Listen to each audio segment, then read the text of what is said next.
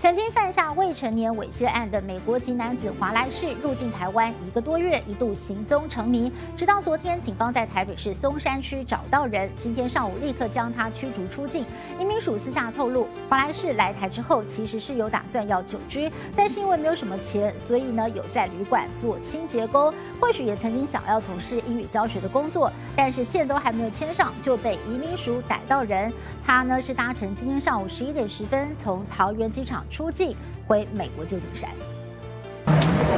戴着棒球帽、全程低着头的男子，就是四十三岁的美籍男子华莱士，在移民官的陪同下驱逐出境，搭乘八号上午十一点多的航班飞往旧金山。踏出国门的这一刻，让不少家长安了心，因为他曾犯下猥亵未成年，还有公开猥亵罪。十月初，他以观光名义来台后，中间也去过一零一等景点旅游，但是他的行踪成谜，还让教育部通令全面清查外籍师资有没有问题。直到这个月七号，终于在台北松山区找到人。而且移民署表示，华莱士确实有打算长居久住，也想过要做英语教学，只是因为没什么钱，先在台北的旅馆做清洁工，就被移民署逮到。也没什么异状哦，他也是蛮想说。